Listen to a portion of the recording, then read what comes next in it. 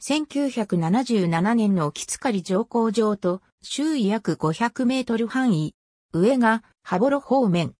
周囲にはあまり家屋がないが、堤防と国道を整備する以前は、海側にいくつか漁業を制御とする民家が立ち並んでいた。整備された国道と羽幌線との間に旧国道が見える。ホームはコンクリート製の簡易型だが、周囲に待合室は見当たらない。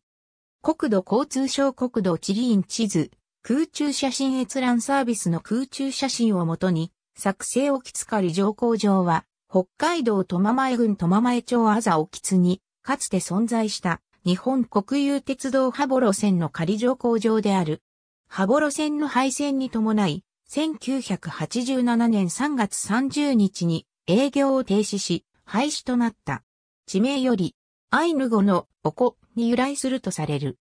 廃止時点で一面一線の単式ホームを有する地上駅であった。また、廃止島で仮乗工場であり、無人駅であった。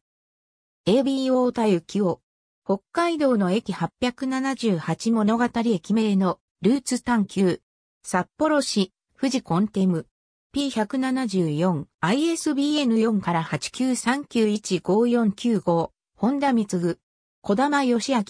江戸、北海道地名館次回、札幌市、北海道新聞社、P32、ISBN 48億9363万7606、奥力4049万1505、https コロンスラッシュスラッシュ www.worldcat.org スラッシュ OCLC スラッシュ40491505ありがとうございます。